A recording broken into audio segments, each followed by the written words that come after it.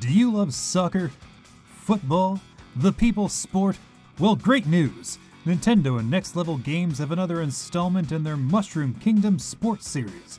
Mario Strikers Battle League is here with tons of strike action. Strike being their name for the technically distinct sport played by teams of five in soccer stadiums with soccer uniforms and a lot of soccer rules, but not all of them. For starters, there's a lot more power ups in Battle League than in soccer. My power up experiments yielded mixed results. Koopa shells are great for bowling over a crowded field of defenders, while bananas work well against me specifically. Mushrooms give you a speed boost, which can be helpful if deployed correctly. Last but not least are the Hyperstrike orbs. Unlike the other items, these orbs are absolutely essential for winning most matches.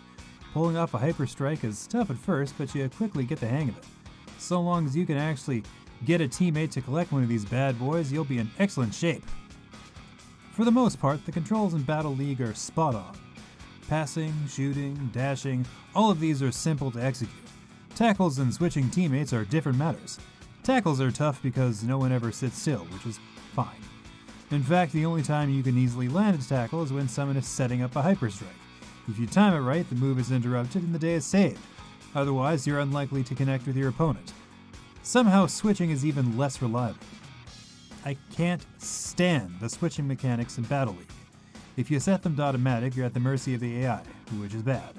If you go manual, you're almost as likely to end up floundering. I've flubbed my defense countless times, all thanks to the switch system. Even hammering on the button doesn't help, since you'll likely cycle past the teammate you need.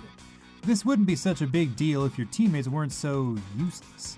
It's not all the time, but more often than not, they seem pretty lost on what happens next.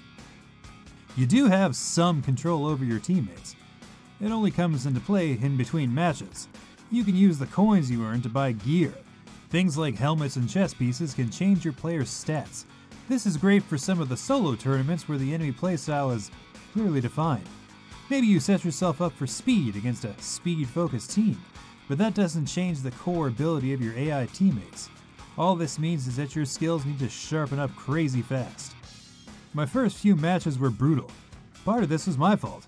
I skipped a lot of the tutorial section and jumped straight into a match, but I've always been more of a learn by doing sort of player anyway. Part of the problem was scoring goals. Charged shots are the only ones with a slight chance of getting in. You also have to make sure the shot is aimed correctly. You also have to make sure the defenders aren't going to get in your way. In other words, hyper strikes are your only feasible path forward. It's possible to get regular shots past the goalkeepers, of course, it just feels like a huge gamble rather than a test of skills. Even hyper strikes rely on a certain degree of luck. If the strike is less than perfect, the goalkeeper has a chance to deflect it. You've got a bit of a learning curve to overcome, in other words. All of this is centered on solo play, but this isn't where Battle League is focused. The real meat of the game is in the multiplayer. I haven't much to say on that front, unfortunately. I've got no access to the service until release day.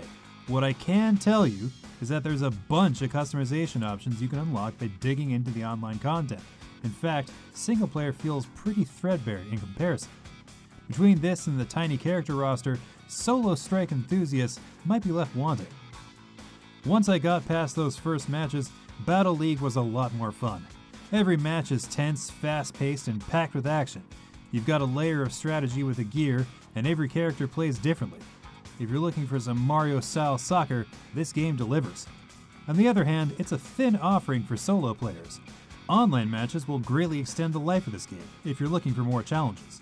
I wish the teammate switching system wasn't so clunky. I'd also love a larger roster to choose from. But if you've got enough opponents, Mario Strikers Battle League is a pretty great time.